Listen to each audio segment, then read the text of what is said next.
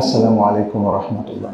আলহামদুলিল্লাহ ওসলাত ওসালাম আলা রসুলিল্লাহ ও আলা আলিহি ও আসহাবিহি ওমাওয়ালা আপনাদের কিছু প্রশ্ন এসছে আমার হাতে। প্রথম প্রশ্ন, কত বছর থেকে পর্দা জায়েজ? আমার বয়স নয় বছর। যখন থেকে পর্দা করতে পারবে তখন থেকে জায়েজ। তবে ফরজ হয় বালিক হওয়ার সময়। কেউ যদি বালিক হয়ে যান, তখন থেকেই তার উপর তাকলিফ, শরিয়াতের যে বিধান, সেটা প্রযোজ্য হয় অর্থাৎ তখন থেকে ফরজ। সম্ভবত প্রশ্নটা করতে চেয়েছিল, কখন থেকে পর্দা ফরজ? কারণ ওটাই আমাদের জন্য ইম্পর্টেন্ট কোনো শিশু যদি যেমন সাত বছর, আট বছর থেকে পর্দা করতে চায়, তো খুবই ভালো। সাধারণত এই বয়সে সে বালেক হয় না। কিন্তু মেয়েদের জন্য পর্দার একটা অভ্যাস গড়ে তোলা হ্যাঁ? যেটা আমরা দেখি যে সালাতের ক্ষেত্রে কিংবা সিয়ামের ক্ষেত্রে যে ইনস্ট্রাকশনটা আছে, সালাতের ক্ষেত্রে নবী সাল্লাম বলছেন, তোমাদের সন্তানদেরকে সাত বছর বয়সে সালাত এ নির্দেশ দাও, আর দশ বছরে প্রেশার দাও, প্রহার করো প্রেশার দাও। যদি না পড়ে আর কি। তাহলে এটা একটা, আর সিয়ামের ক্ষেত্রে আমরা দেখি যে অল্প বয়সে শিশুদেরকেও সিয়াম রাখার জন্য সেই যেই বছর সিয়াম ফরজ হয়, তার আগ থেকেই এই নির্দেশনা ছিল, যেটা রুবাইয়া বিনতুল মাহবুদ অথবা মাহবুদ বিনতুল রুবাইয়া, ওনার কাছ থেকে যেটা এসেছে যে আমরা আমাদের শিশু সন্তানদেরকেও রোজা রাখাতাম, কাঁদলে খেলনা দিতাম, পশমের তৈরি, যাতে তারা ইফতার পর্যন্ত ভুলে থাকে আর কি, খিদাকে ভুলে থাকে, এই। তাতে বোঝা গেল যে পর্দার ক্ষেত্রেও একই বিধান। কারণ হঠাৎ করে কেউ পর্দা করে না। মেয়েরা অনেককে আমরা দেখলাম যে লজ্জা পায় পর্দা করতে কারণ পর্দার পরিবেশ তাকে অভ্যস্ত করানো হয়নি। এই জন্য নয় বছর বয়স পর্দার জন্য সুন্দর। পুতুল খেলা সম্পর্কে ইসলাম কি বলে? যদি খেলা জায়েজ হয়, সেক্ষেত্রে কত বছর বয়স পর্যন্ত পুতুল খেলা যাবে? আয়সা রাদি আল্লাহ তালা আনহা, তিনি পুতুল খেলতেন। তার রাসুল সাল্লাহাম সংসারে যখন তিনি আসলেন, তখন নয় বছর। তার মানে হচ্ছে, সেই সংসারে আসার পরেও তিনি পুতুল খেলেছেন, কারণ তখনও তার বয়স কম ছিল। এটা এক্স্যাক্টলি বলা কঠিন, তবে বালেগ হওয়ার পরে নয়, তার আগ পর্যন্ত খেলতে পারে। কিন্তু কোন ধরনের পুতুল? এটা খুব ইম্পর্ট্যান্ট বাজারে যে অনেকগুলো পুতুল পাওয়া যায়, যেগুলো ব্যাটারি দিলে কথা বলে, আর পুরো মানুষের শেপে এগুলো কিন্তু জায়জ নেই। আয়সা রাবি আল্লাহ তালা আনহা যে পুতুলগুলো খেলতেন, সেগুলো হয়তো শলা দিয়ে বানাতেন, কাপড় থাকতো। মানে জাস্ট এগুলো পুতুল, যেটা আমরা গ্রামে গঞ্জেও দেখেছি হ্যান্ডমেড নিজেরা নিজেরা যেগুলো করে, সেগুলোর মধ্যে পূর্ণাঙ্গ কোনো শেপ নাই। সেই পুতুলগুলো খেলা যায়। ব্যবসা করার ক্ষেত্রে অনেক পণ্যদ্রব্যের উপর নারীদের ছবি, পশু পাখির ছবি, বাচ্চাদের ছবি কার্টুন ইত্যাদি থাকে। সকল পণ্যদ্রব্যের ক্রয় বিক্রয়ের ব্যবসা কি হালাল? হ্যাঁ পণ্যের ক্রয় বিক্রয় হালাল। কিন্তু ছবিটা হালাল না। ছবিটা দেওয়াটা উচিত না। বিশেষ করে নারীদের ছবি। সেটা খুবই বড় ধরনের গর্হিত কাজ। নারীত্বের অবমাননা হয়। নারীদেরকে পণ্য হিসেবে ব্যবহার করা হয়। যদি আপনাদের কাউকে, আপনারা সবাই পুরুষ, আমরা বলি যে আপনাদের কাউকে আমরা পণ্য হিসেবে ব্যবহার করব। রাজি কিনা কে রাজি হবেন বলেন তো? কেউ রাজি হবেন না। নারীরাও রাজি হয় না, সম্ভ্রান্ত নারীরা কেউ রাজি হয় না। কিন্তু কিছু নারী নিজেকে, নিজের সব কিছু বিক্রি করে দেন। আর আরেকটা ক্ষতি হয়ে গেছে আমাদের। সেটা হচ্ছে আমাদের নারীদের শেখানো হয়েছে, এটাই আধুনিকতা। ওপেননেস অ্যাডভার্টাইজে চলে আসা, নাচ গান টাইট পোশাক, সংক্ষিপ্ত পোশাক, বেপর্দা থাকা মানে ধীরে ধীরে গত অনেক বছর ধরে নারীদেরকে এভাবে অভ্যস্ত করে গড়ে তোলা হয়েছে। ফলে অনেক নারীরা মনে করেন যে পর্দার মধ্যে আসাটাও নারীত্বের অবমাননা, উল্টোটা মনে করে বুঝতে পেরেছেন? অথচ পর্দার মধ্যে থাকাটা হচ্ছে নারীত্বের সম্মাননা। অবমাননা নয়। পৃথিবীর সবচেয়ে দামি জিনিসগুলো পর্দার মধ্যেই মানুষ রাখে। তাই না? হীরা কি সবার সামনে রাখে। সিন্ধুকে ভুলে রাখে, যে সে পর্দা না, একদম কঠিন সিন্ধুকের পর্দার মধ্যে রাখে। এটি নিয়ম। ইসলাম নারীদেরকে আসলে সম্মাননা দিয়েছে। অবমাননা কখনোই করেনি। নারীকে মা, বোন হিসাবে সম্মাননা দিয়েছে। অতএব আমাদের কখনোই এটা উচিত নয় এবং জায়জ নয় যে কোনো নারীকে আমরা পণ্য হিসেবে ব্যবহার করব। সাবানের গায়ে, প্যাকেটের গায়ে, গাড়ির গায়ে, গাড়ির অ্যাডভার্টাইজমেন্টে বা যে কোনো অ্যাডভার্টাইজমেন্ট তাদেরকে ব্যবহার করব। এটা অন্য সংস্কৃতি থেকে এসেছে। যে সংস্কৃতির ধারক বাহকরা আমাদের মেয়েদেরকে নষ্ট করতে চায়। এবং তাদেরকে বিচ্যুত করতে চায়, তাদেরকে ইসলামের মূল জায়গা থেকে অন্য জায়গায় নিয়ে যেতে চায়, কারণ একটা জাতি ধ্বংস হয় নারীর কারণে। আবার একটা জাতি গঠিত হয় নারীর কারণে। যদি মায়েরা ভালো থাকে, সন্তান সুশিক্ষিত, প্রশিক্ষিত হয়। যদি মায়েরা নিজেরাই মিসগাইডেড হয়, তাহলে তাদের হাতে প্রজন্ম কখনোই নিরাপদ নয়। পাশাপাশি নারীদেরকে যদি এভাবে নষ্ট করা যায়, তাহলে সমাজের সবগুলো জায়গা ধ্বংস হয়ে যায়। অফিসও ধ্বংস হয়। এখন তো রিসেপশনিস্ট হিসেবে মেয়েরা থাকে, দেখেন। হোটেলও ধ্বংস হয়। সেখানে নারীদেরকে পণ্য হিসেবে ব্যবহার করা হয় এবং মানে কি বলে, সম্মতিযুক্ত জেনা ব্যবচারের ব্যবস্থা করা হয়। এভাবে প্রত্যেকটা জায়গায় সি বিচও নষ্ট হয়। যেখানে নারীদেরকে সেখানে উলঙ্গ থাকার ব্যবস্থা করে দেওয়া হয়। অনেক মুসলিম দেশে আজকে এগুলো চালু হয়ে গেছে। তার মানে হচ্ছে যেহেতু আমাদের ভাইয়েরা অনেকে মনে করেন নো প্রবলেম তখন এগুলো প্রতিষ্ঠিত হয়ে যায়। প্রত্যেকটা জায়গায় নারীদেরকে দিয়েই যে কোনো ভালো, উন্নত, ভদ্র এবং ইসলামী জাতির ধ্বংস ত্বরান্বিত করা হয়। ফলে নারীকে অবমাননা করার মধ্য দিয়েই মুসলিমদের ধ্বংস রচিত হয়। সে ধ্বংসটা কি করা জায়েজ এটা জায়েজ না, এটা মনে রাখতে হবে। আর আমাদের নারীদেরকে ভুল শিক্ষা দেওয়া হচ্ছে। তারা যদি এটা বুঝতো যে পর্দা হচ্ছে তার সম্মাননা এবং তার মর্যাদা মায়ের মর্যাদা, তার মর্যাদা বোনের মর্যাদা, তার মর্যাদা কন্যার মর্যাদা, তাহলে কিন্তু মেয়েরা আর রাজি হতো না। যাই হোক, আমি এটা একটু দীর্ঘায়িত করলাম সবাইকে নাসিহা করার জন্য। আপনারা আপনাদের মা, বোন, কন্যা এদের হেফাজত করবেন। বরং হাদিসে যে দায়ুসের কথা বলা হচ্ছে, সে হচ্ছে ওই পুরুষ যে তার নারীদের ক্ষেত্রে, তার নারী হতে পারে, তার স্ত্রী, অথবা তার কন্যা, অথবা তার বোন। এদের ক্ষেত্রে সে ফাহেসাকে যদি অনুমোদন দেয়, বুঝতে পেরেছেন? ফাহেসাকে যদি অনুমোদন দেয়, জেনা ব্যবচারকে যদি অনুমোদন দেয়, তাহলে সেই হচ্ছে দায়ুস। অজুর ধারাবাহিকতা বজায় না করে অজু করলে অজু আদায় হবে কি? সালাতের কোনো সমস্যা হবে কি না? অজুর ধারাবাহিকতা কেন বজায় রাখবে না? তাই না? এটার প্রশ্নটার উত্তরটা আগে জরুরি। আমাদের উত্তর দিতে হলে তিনি কি অজুর ধারাবাহিকতা বজায় রাখছেন না এই জন্যে যে দত্তরি, আমরা যেমন ইচ্ছে তেমন করব, তাহলে তার অজু হবে না। আল কোরআনে আল্লাহ সুমতাল্লাহ একটা ধারাবাহিকতা বলেছেন না, ইদা কোন তুমি ইলাসাল্লাতে ফকসুলু আইদিয়াকুম মিলাল মরাফিক ওমসাহু বের ওসিকুম আরজুলাকুম ইলাল কাবাইন এই তারতিবে আপনি উজু করবেন। হ্যাঁ একজন মানুষ বারবার ভুলে যায়, প্রচণ্ড ভুলো মন তার ডিমন্যাশিয়া নাকি একটা রোগের কথা বলা হয়, সেরকম যদি থাকে এবং তাকে হেল্প করার মতো কেউ না থাকে, তাহলে তিনি যেমনি উজু করেন, সেটাই সেরিয়া পারমিশন দেবে। তাহলে এটা এক্সেপশনাল কেস এটা হচ্ছে অক্ষমতার কেস হ্যাঁ যেটা সালাতের ক্ষেত্রে রাসুল সাল্লাহ সাল্লাম বলেছেন, সাল্লে কাইমান ফাইনলাম তাস্তাতে ফাঁকা এরান ফাইনলাম তাস্তাতে ফায়লা জানবিন সহি বুখারের হাদিস, দাঁড়িয়ে সালাত আদায় করো, ফরজ সালাতের ক্ষেত্রে বলা হচ্ছে, যদি না পারো তাহলে বসে পড়ো, যদি না পারো তাহলে শুয়ে পড়ো। রান্না করা মুরগির মাংসের হাড় থেকে রক্ত বের হতে দেখা যায়, এটা কি খাওয়া যায়? হ্যাঁ কোনো অসুবিধা নেই, যেই রক্তটা লেগে থাকে, ওটা আর ধোয়ার পর পরিষ্কার হয় না। সেটা গোশের সাথে তো কিছু রক্ত লেগে থাকে না লাল কেন গোশ? গোশকে চিপ দিয়ে যদি সব রক্ত বের করেন, দেখবেন গোশটা সাদা হয়ে যাবে। তার মানে কিছু রক্ত গোশের সাথে যেটা লেগে থাকে বা হাড়ের সাথে যেটা লেগে থাকে, সেটা যাইছে কোনো একজন ব্যবসায়ী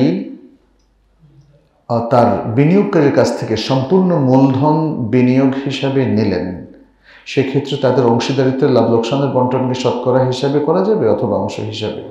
যেমন, শতকরা লাভের দশ পার্সেন্ট পনেরো পার্সেন্ট বিশ পার্সেন্ট অথবা লাভের তিন ভাগের একাংশ পাঁচ ভাগের একাংশ দশ ভাগের একাংশ এবং ব্যবসা এর মেয়াদ শেষ হলে মূলধন ফেরত দেওয়ার নিয়ম কি? সুন্দর প্রশ্ন করেছেন। এটা হলো মোদারাবা ট্রানজেকশন মোদারাবা ট্রানজেকশন বলছেন, সম্পূর্ণ মূলধন একজন বিনিয়োগ করলেন, তাহলে আরেকজনের কাজ কি? মোদারেব হিসাবে ম্যানেজার হিসাবে কাজ করা। যিনি ম্যানেজার যিনি এই চুক্তিটার সেকেন্ড পার্ট দ্বিতীয় পক্ষ, তিনি হলেন মোদারেব। আর যিনি ফার্স্ট পার্ট প্রথম পক্ষ, তিনি হলেন সাহেবুল মাল, বিনিয়োগকারী। পুরো টাকাটা দিয়েছেন। তাহলে মোদারেবের প্রথম দায়িত্ব হচ্ছে পুরো টাকাটাকে প্রোটেকশন দেওয়া, হেফাজত করা সার্বিক সর্বাত্মক প্রচেষ্টা করে তিনি মূলধনটাকে ঠিক রাখবেন এবং এটাকে বিনিয়োগ করবেন। দুটো কাজ তার। এটাকে বিনিয়োগ করার কাজটাও তার, মূলধন ঠিক রাখার কাজটাও তার। যদি তার কোনো ধরনের ত্রুটি না হয় এবং তিনি আন্তরিকভাবে, সুন্দরভাবে তার কাজটা করেছেন, তারপরেও যদি লস হয়, লসটা সোহেবুল মালের। এবং সেক্ষেত্রে তার লস হচ্ছে, তিনি কাজ করলেন আর কিছু পাবেন না। মূলধন থেকে লসটা বেয়ার করবেন কে? বিনিয়োগকারী। আর যদি মুদারের ব্যক্তি, যিনি ম্যানেজারিয়াল দায়িত্ব পালন করেছেন, যদি তার কোনো নেগলেন্সি থাকে, অথবা তার কোনো ব্যক্তিগত অসততা থাকে, বা মূলধন থেকে কিছু সরিয়ে ফেলেছেন, এটা প্রমাণিত হয়, তাহলে মূলধনটা মাহফুজ অবস্থায় থাকবে এবং তাকে পুরো মূলধন ফেরত দিতে হবে। বুঝতে পেরেছেন? তাহলে মূলধনের যে লসটা তিনি দেখাচ্ছেন, তার নিজের নেগলেন্সি, নিজের অসততা, নিজের দুর্নীতির কারণে যদি সেটা হয়, তাহলে মূলধন প্রোটেক্টেড থাকবে সাহেবুল মাল সেটা বেয়ার করবে না। আর যদি তার কোনো ত্রুটি না থাকে, তাহলে সাহেবুল মালকে মূলধনের পুরোটাও যদি চলে যায় তবু সেটা বেয়ার করতে হবে। এই, এটা হলো সেই। আর প্রফিটের ক্ষেত্রে যদি কিছু প্রফিট হয়, আপনারা শতকরা হারেও প্রফিটকে ভাগ করতে পারেন। অথবা দুই ভাগে এক ভাগ আপনার, এক ভাগ ওনার, এটাও হতে পারে। সেই এক ভাগটা আপনি যেটা বললেন, তিন ভাগের এক ভাগ, এটাও আসলে এক ধরনের শতকরাই। অর্থাৎ একশো পার্সেন্টের তেত্রিশ পার্সেন্ট উনি পাবেন, অথবা তেত্রিশ পয়েন্ট থ্রি থ্রি পার্সেন্ট একজন পাবেন, আরেকজন sixty six point six six percent পাবেন। ব্যাস। মানে প্রফিটের উপর ভাগাভাগিটা যদি হয়, তাহলে কোনো সমস্যা নাই। কিন্তু যদি মূলধনের পার্সেন্টেজের উপর প্রফিটটা নির্ধারণ করা হয়, যে আমি মোদারেব, আমি আপনাকে, আপনার মূলধন এক লাখ টাকা আছে, তার থার্টি পার্সেন্ট দেব। তার বছর শেষে আপনি পাবেন কত? মূলধন এক লাখ, আরও ত্রিশ পার্সেন্ট তিরিশ হাজার টাকা, এক লাখ তিরিশ হাজার পাবেন। এটা কি? সুদ। এটা হবে না।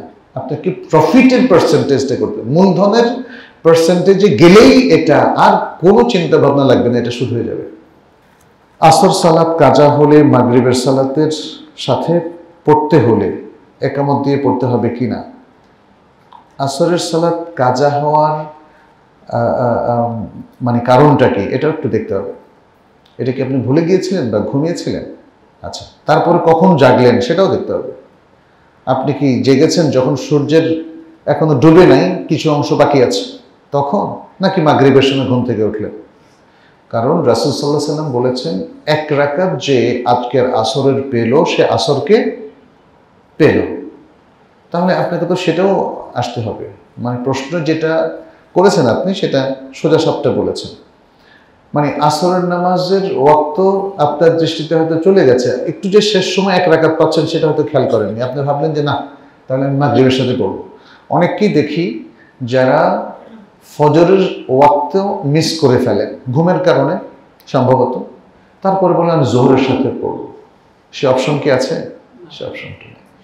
কারণ বোখারি হাদিস বলছে, যদি কেউ সালাদ ভুলে যায় অথবা ঘুমিয়ে থাকে, তাহলে যখনই তার স্মরণ হবে তখনই পড়বে। এবং যখন ঘুম থেকে উঠে তখনই পড়বে।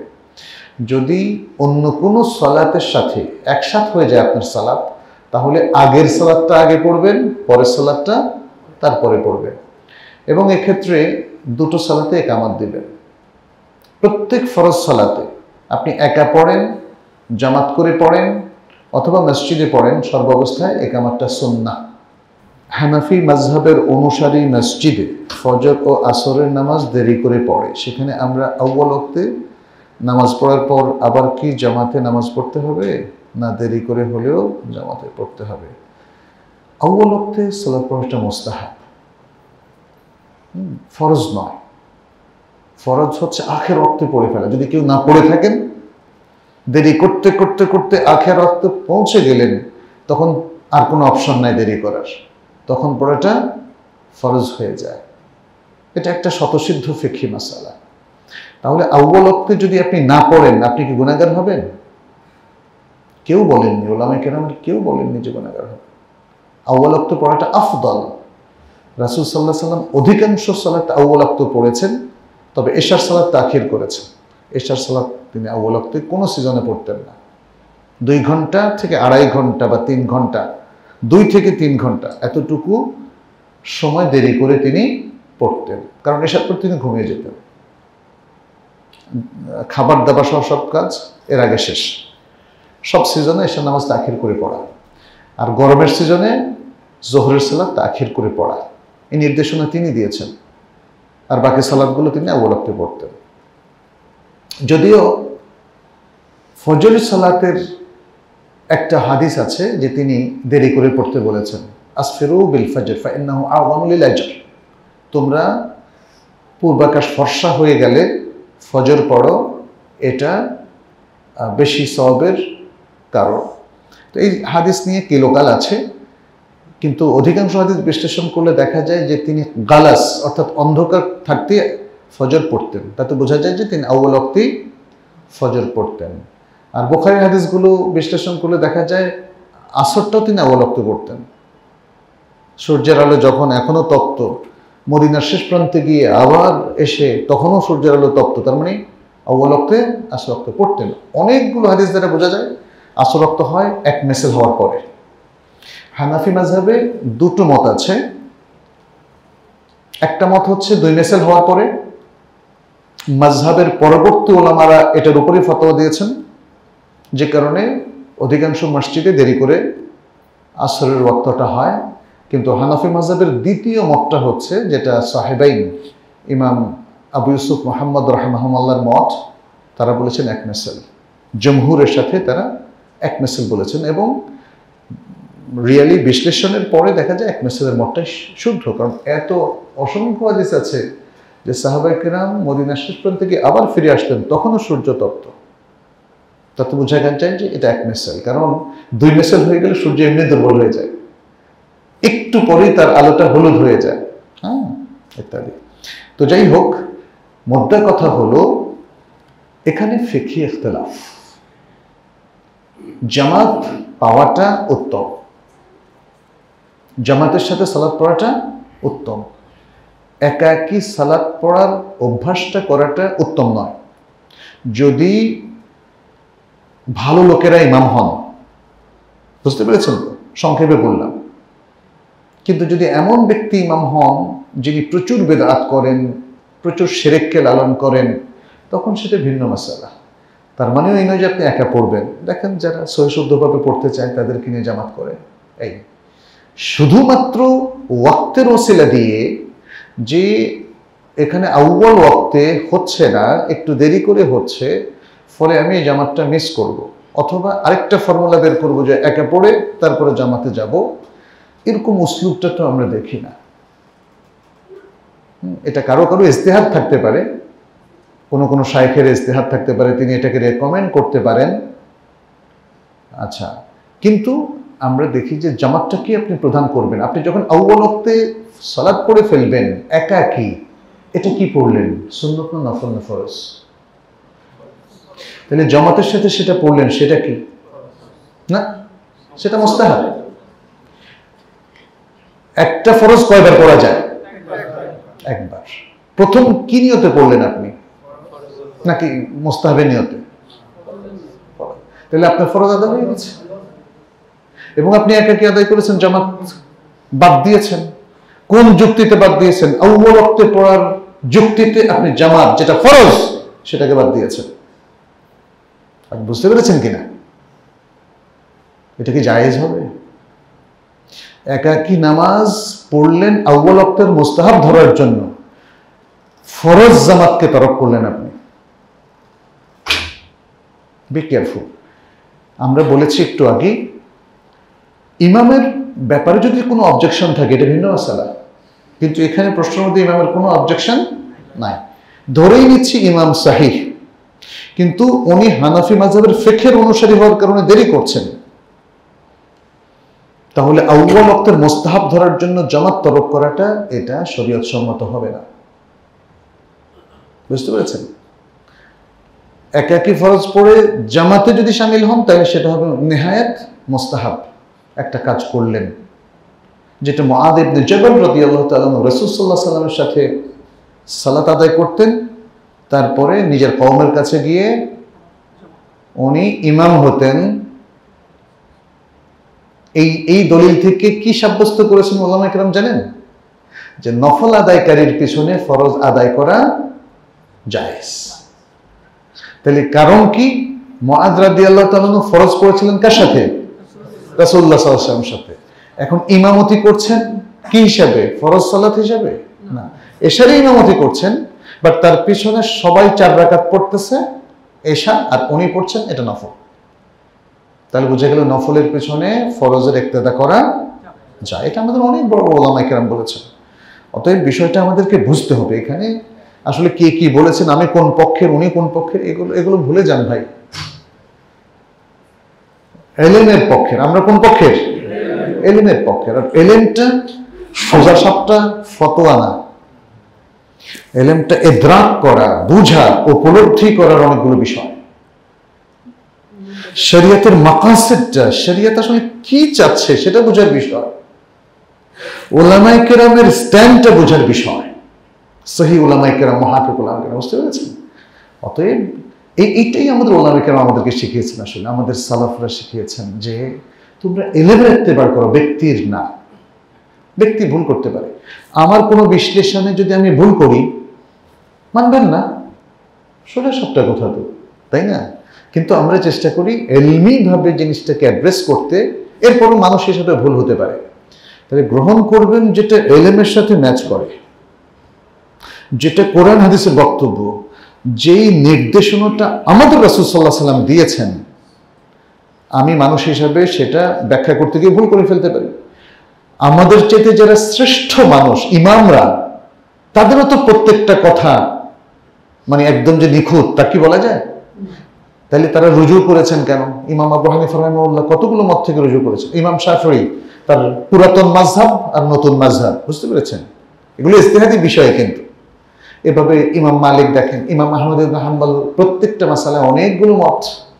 কারণ যখন তিনি দেখতেন আগের মাসালার চেতে পরবর্তী মতটা শুদ্ধ, তিনি চলে আসতেন।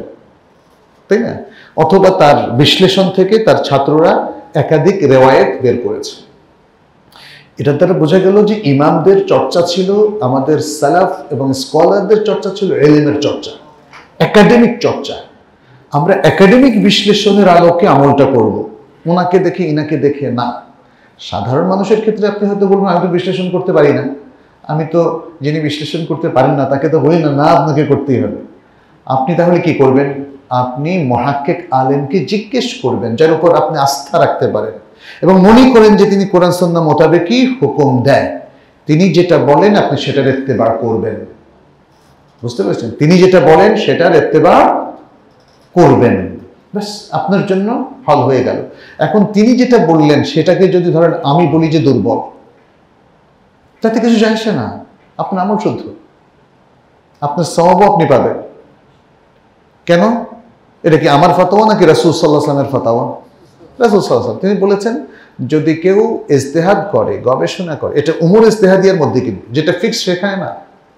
জোহরের আজকে জুমার নামাজ কি তিন রাখাত পড়বেন না দুই রাখাত পড়বেন? এখানে ইজতেহাদ করা যাবে? করা যাবে। তাহলে এটা ইজতেহাদের বিষয়, মনে রাখতে হবে, ইসলামের দুটো এরিয়া আছে, একটা হলো ফিক্সড কোনো ইজতেহাদ, কোনো গবেষণা ফার্দার করা যাবে না। আরেকটা হচ্ছে এখনও ইজতেহাদ করা যায়। এখনও ইজতেহাদ করা যায়। এটা হলো সে বিষয়। তাহলে কোনো ব্যক্তি যদি ইজতেহাদি বিষয়গুলোতে কোনো ইজতেহাদ করে সঠিক সিদ্ধান্তে আসে মানে ইজতেহাদা ফা আসাবা ফেলাহু আজরান, তার ডাবল সওয়াব।